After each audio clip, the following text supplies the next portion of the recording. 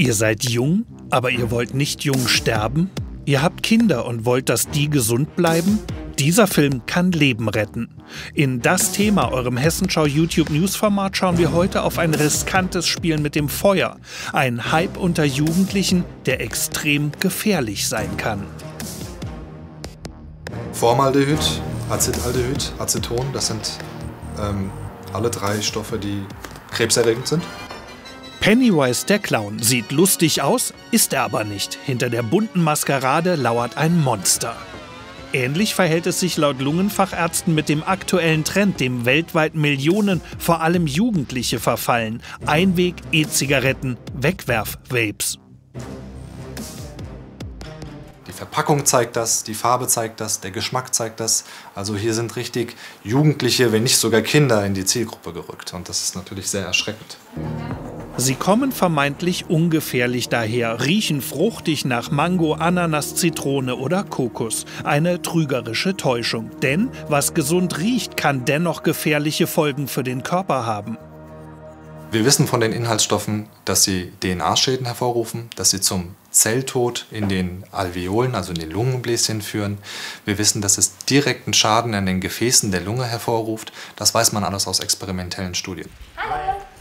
Jennifer Vogel ist Kundin im E-Zigarettenladen in Großzimmern. Seit zwei Jahren dampft sie E-Zigaretten und bewirbt sie sogar auf Instagram. Am liebsten die Wegwerf-Vapes der chinesischen Trendmarke Elfbar. Die 27-Jährige hat erst normale Zigaretten geraucht, dann die E-Version und schwört nun auf die Einweg-Vapes. Natürlich sind die anderen E-Zigaretten viel größer, man muss die auffüllen, man muss die laden und bei der ist es so, man macht den Verschluss unten ab und oben und dann kann man direkt losdampfen. Und wenn man natürlich dann auf Feiern ist, ähm, ist das natürlich auch viel handlicher in der Handtasche. Bei E-Zigaretten wird kein Tabak verbrannt, sondern ein Liquid erhitzt, mit oder ohne Nikotin. Ein Trend, der aus den USA kommt und dessen Zutaten meist in China produziert werden. Einweg E-Zigaretten. Einmal rauchen, dann wegwerfen. Eine Vape reicht für etwa 600 Züge so viel wie zweieinhalb Zigarettenschachteln. Je mehr sie merken, dass junge Menschen weniger rauchen, und das hat man in den letzten Jahrzehnten gesehen, desto erfinderischer wird die Tabakindustrie, um neue Käuferschichten zu erreichen. Und ich denke, dieses ähm, hippe, unkomplizierte ähm, und fruchtige, was ja viele junge Menschen von der normalen Shisha mittlerweile kennen und auch in Deutschland gut kennen, ähm, machen sie sich damit äh, neue Käuferschichten zugänglich. Hipper Look, trendige Farben, dazu frische Düfte nach Obstkuchen oder Limo. Wer sollte hinter solch einer Zuckerwatteverpackung Schlechtes vermuten? Doch Lungenärzte warnen, nur weil kein echter Tabak verbrennt, sind die Vapes noch lange nicht ungefährlich. Viele Substanzen, die in der normalen Zigarette, also ultra erhitzt, bei verbrennendem Tabak austreten, die treten hier nicht aus. Andere Inhaltsstoffe wiederum schon. Aber weniger Harmful bedeutet nicht harmlos. Das ist immer ganz wichtig. Und man muss feststellen, dass 90% weniger Giftstoffe nicht bedeutet, dass es 90% weniger gefährlich ist. Die Einwegzigaretten haben den Markt im Sturm erobert, trotz aller Risiken. Weltweit werden täglich Millionen davon verkauft, auch in Deutschland. Der Umsatz allein bei uns in diesem Jahr 300 Millionen Euro, 20 Millionen mehr als im Jahr davor. Einer der größten Anbieter, Elfbar aus China. Carsten Wirth gibt Workshops an Schulen und warnt dort vor den Gefahren der Wegwerf-Vapes. Was wir häufig erfahren, ist, ähm, dass Jugendliche denken, dass es äh, gesund ist. Für uns stellt sich natürlich die Herausforderung als Präventionsstelle, dass ähm, wenn Jugendliche sich entschieden haben für den Konsum von E-Zigaretten, dass sie leichter zugänglich sind dann für Tabakzigaretten. Studien zur Gesundheitsgefährdung von E-Zigaretten laufen, sind aber noch nicht abgeschlossen. Oft dauern diese mehrere Jahre.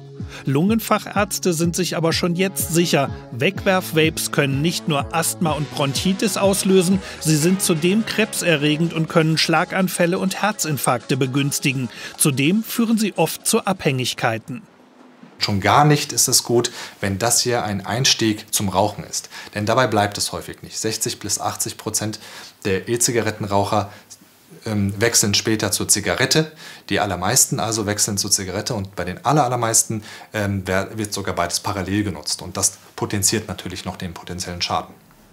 Einweg-Vapes, nicht nur ein Risiko für die Gesundheit, auch für die Umwelt stellen sie ein riesiges Problem dar. Denn in jeder E-Zigarette steckt ein kleiner Akku, der landet meist im Müll. Es wird jedes Mal ein äh, Akku weggeschmissen. Man spricht von zwei bis drei Millionen Einweg-E-Zigaretten, die monatlich nur von Elfbar verkauft werden, ähm, sodass da eben auch der Umwelt äh, zuliebe äh, Handlungsbedarf besteht. Auch Greenpeace beobachtet das Müllproblem seit längerem kritisch, insbesondere vor dem Hintergrund knapper Ressourcen, seltener Erden und wertvoller Rohstoffe, die in den Akkus stecken. Denn die eingebauten Akkus von nur 5 11 Bars entsprechen dem eines aktuellen iPhones.